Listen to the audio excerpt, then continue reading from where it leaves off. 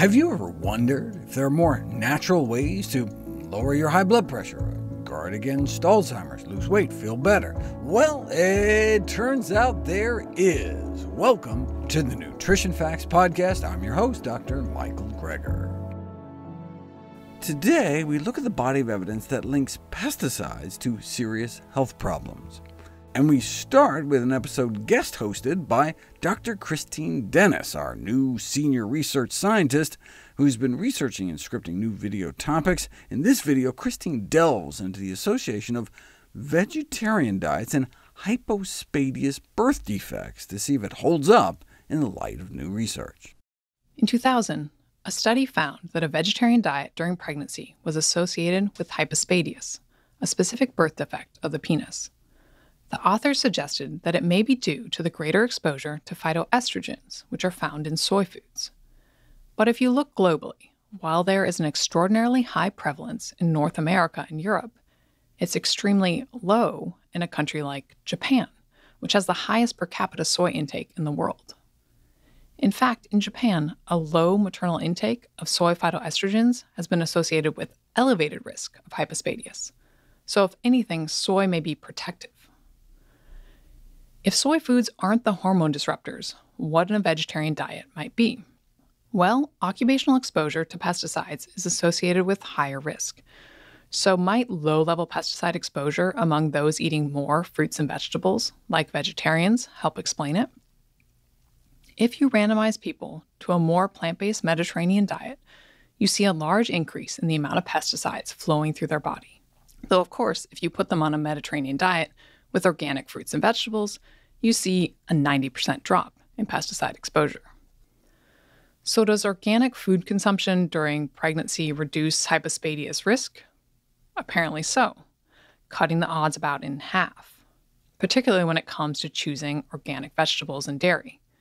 Though the only other study to look at organic food choices and hypospadias found the risk associated just with conventional high fat dairy products.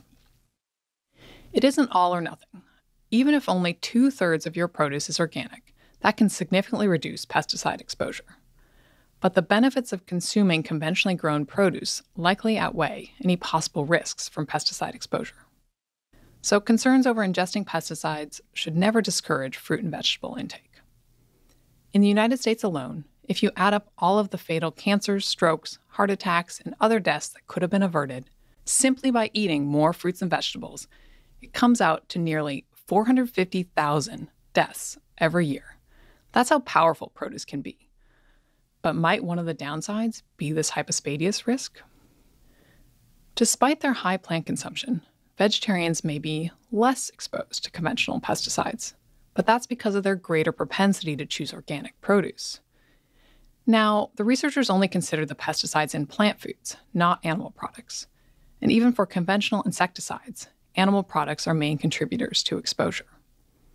Additionally, persistent pesticides, such as organochlorine pesticides like DDT, are concentrated in fish, other meats, and dairy.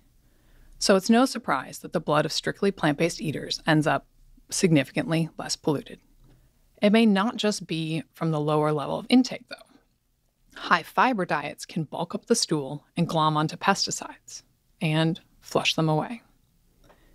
In the end, the hypospadias issue may be another example of the stroke scare. Dr. Greger did a whole series covering potential explanations why a study had found higher stroke rates among vegetarians. But then, half a dozen other studies found lower rates of stroke, if anything, across the board. The original hypospadias study looked at about 50 cases. Twelve years later, a study that looked at 1,250 cases was published and found zero increased risk among vegetarian mothers. In our next story, researchers measure the impact of eating organic on the level of pesticides in our children. Produce can be contaminated by manure runoff, and conventional produce may be contaminated with pesticides. We've known for years that the 800 million pounds of pesticides used annually in the United States, the herbicides, fungicides, insecticides, have clear cut detrimental effects on farm workers and their families. That's uncontroversial. You can even do what are called hand wipe studies to actually measure the pesticides in the hands of kids in California's Central Valley, where the, the planes come down and, and spray this fog. How much exposure urban and suburban children are getting from food, however, has been unclear until now.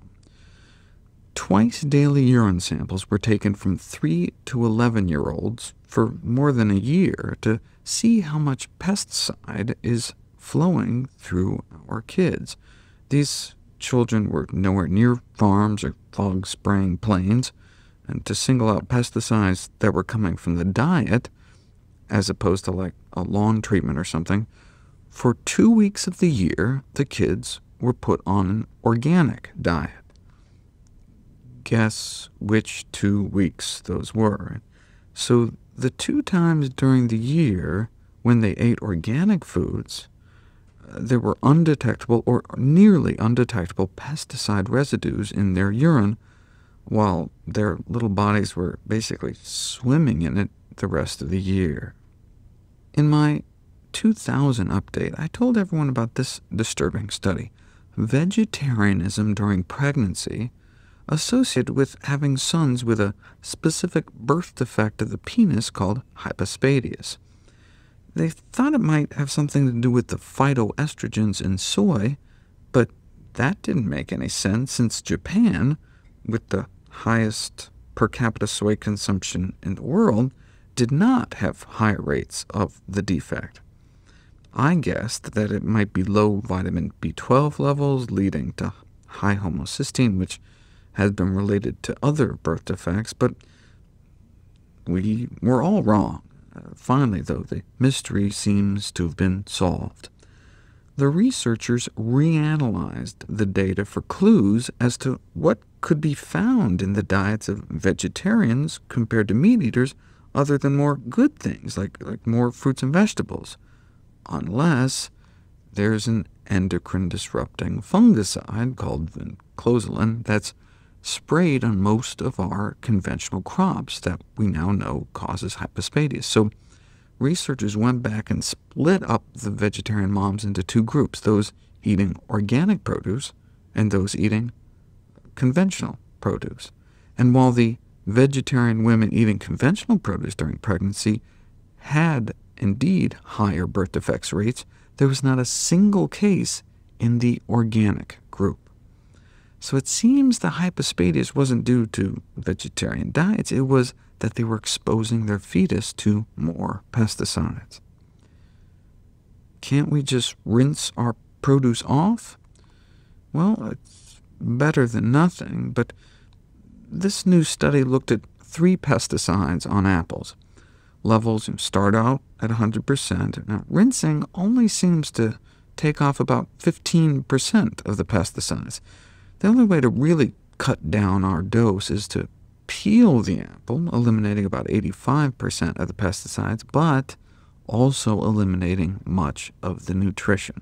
So eat organic foods whenever possible.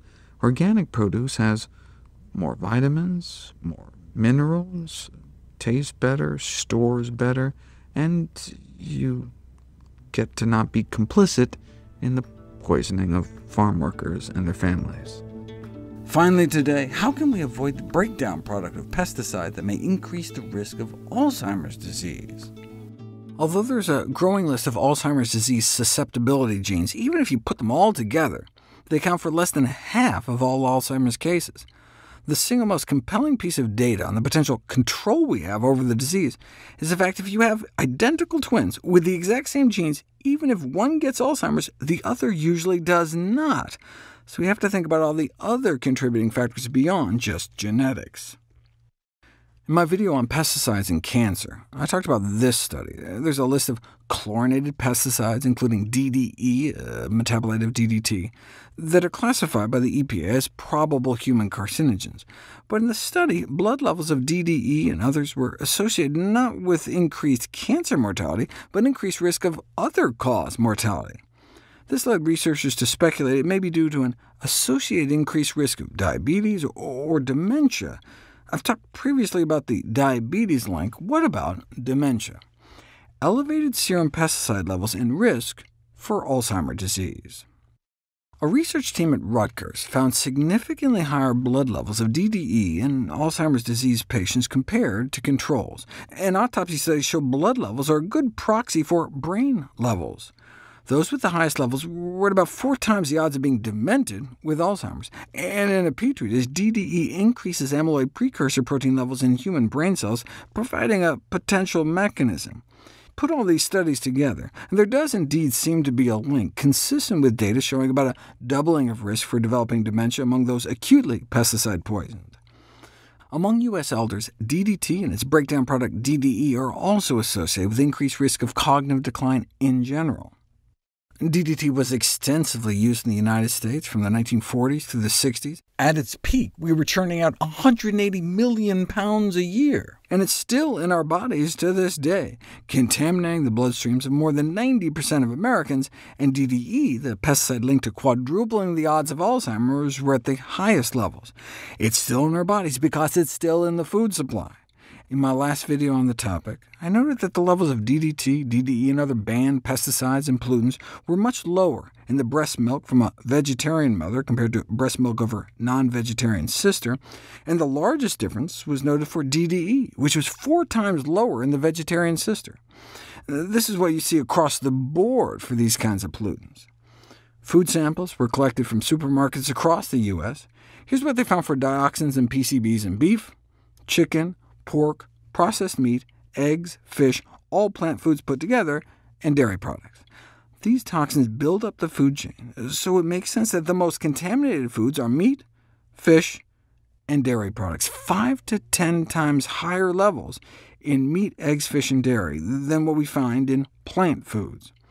And unfortunately, cooking doesn't destroy pollutants like DDE. In fact, it may make them even more concentrated and this is for a pesticide that may increase the risk of Alzheimer's disease as much as if you carried the so-called Alzheimer's gene, ApoE4. Visit nutritionfacts.org/audio to see all the podcast episodes with descriptions that include links to their associated videos. Sources cited and other details are available on each video's page. Information about my books, How Not to Die, How Not to Diet, How Not to Age, is at nutritionfacts.org/books. All proceeds from book sales go to charity, and sign up for our free newsletter at nutritionfacts.org slash subscribe to stay updated on the latest bite-sized videos and articles. NutritionFacts.org is a science-based nonprofit, and everything on the website is free. There are no ads, no corporate sponsorships, no kickbacks, strictly non-commercial, not selling anything, just put it up as a public service, as a labor of love, as a tribute to my grandmother, whose own life was saved with evidence-based nutrition. Thanks for listening.